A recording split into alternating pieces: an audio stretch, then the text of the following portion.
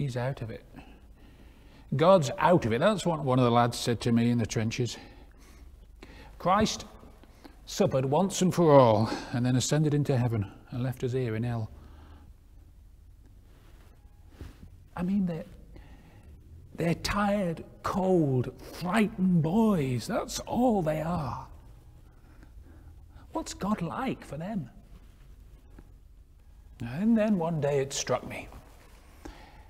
I was running back towards our lines, mad with fright, to be honest, and I, I went across this bit of open land, used to be a wooded copse or something, and I tripped. I must have stumbled over something or other, and I looked down to see what I'd tripped over, and there, on the ground, looking up at me, was this young, underfed, undersized, underage German boy, wounded in his head and his stomach.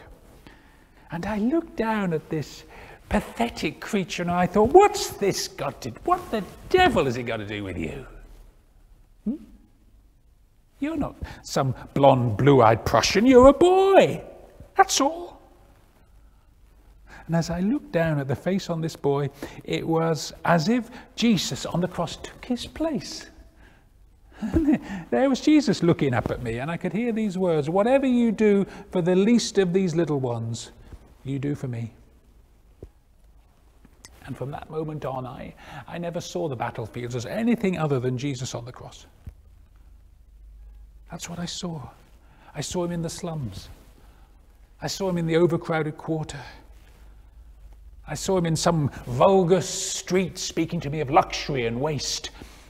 I saw him in the headlines of a newspaper speaking out about the lost, bewildered, and tortured world.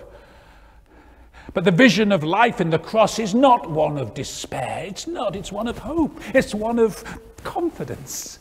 Why? I'll tell you why. Because behind the cross is an empty tomb. And Jesus, with his wounded hands, ready to bless you, ready to ascend into heaven.